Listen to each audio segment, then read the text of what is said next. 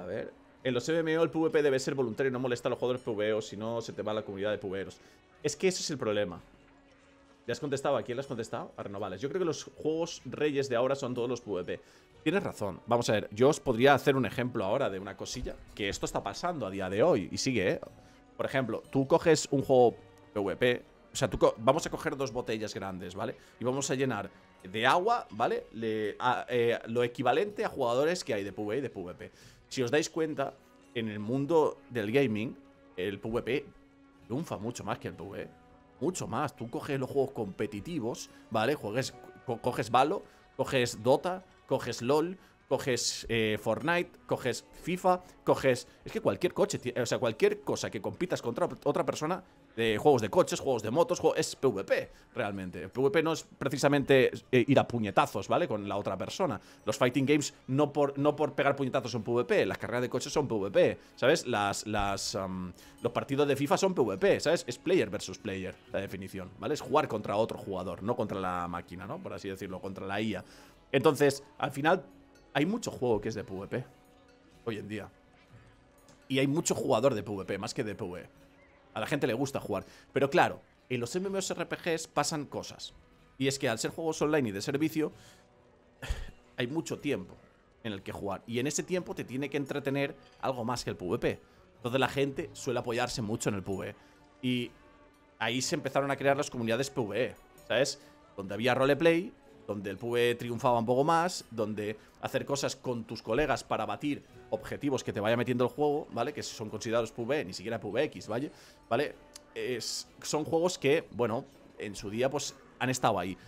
Creo que a día de hoy en los MMOs hace falta un juego que apueste como Albion. O sea, que se la juegue.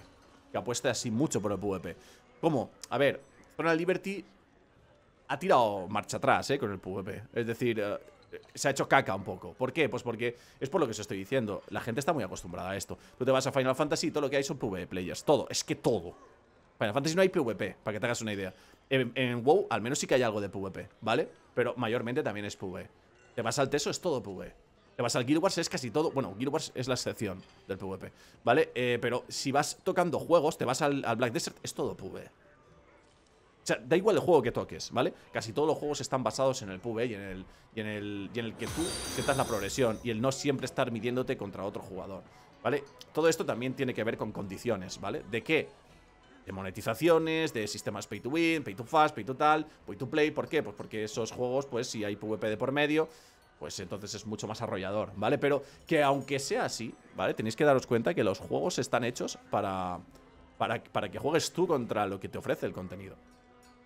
Y a nivel de desarrollo, estoy seguro que cuesta mucho menos de mantener un juego que es PvP que un juego de que es PvE. Porque tú un juego PvP sacas 5 modos, 7 cosas, limpias las leaderboards cada semana, das rewards, pones 3 intendentes y tienes un juego que la gente te lo va a jugar ahí por tiempo. ¿Sabes? Si pones sistemas balanceados, pollas y todo rollo, y lo tienes. Y no tienes nada más que sacar un par de BGs cada 6 meses o cada año. O algún sistema de ranked, o algún nuevo modo de, de PvP, o cualquier cosa. Pero tú ahora te vas a un juego PvE, tío, y el juego PvE, tío, requiere una cantidad de desarrollo que se te va de la olla. Tío, porque ahora hazme esta dungeon. Esta dungeon hace una loot table. Que esa loot table no quite las otras loot table y que no sea, y que sea a un añadido y no algo de relevancia absoluta. Eh, ahora metes una raid, porque la gente se te va a aburrir. El momento que. Y encima la haces una vez, la gente te la hace una vez y ya te está pidiendo otra. O sea, eh, aún no. O sea, te tiras mm, tres, un mes para desarrollar eso, ¿vale? La gente te lo limpia el primer día, el segundo te dice, necesito otra. ¿Sabes? No, no se puede seguir ese ritmo. Entonces.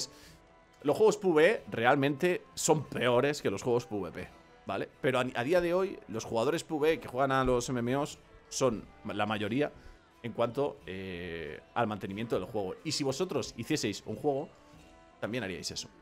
Haríais un juego más PvE que PvP. Porque veríais el dinero que da el PvE y veríais el dinero que da el PvP. El PvP no da casi dinero, ¿sabes? En comparación al PvP, en el PvE en estos juegos. Y es una realidad, ¿vale? Y por eso los referentes del sector son como son. Luego te llegan eh, juegos como que se la quieren jugar como Mortal Online y se cagan encima. O juegos como Albion Online, ¿vale? Y no se cagan tanto encima. Pero claro, es que hacer un Albion Online no cuesta lo mismo que hacer un TL. Es que hacer un Albion Online no cuesta lo mismo que hacer un New World. Es que un Albion Online no cuesta lo mismo que hacer un Lost Ark, por ejemplo. Cuesta mucho menos de hacer. Entonces te la puedes, tienes mucho más margen de jugártela. Es como un Palworld, es decir, el Palworld costó 6 millones de dólares. Te puedes jugar a hacer ese juego como te salga del rabo. ¿Que pegas pelotazo? Ok, que no, pues bueno, es lo que hay.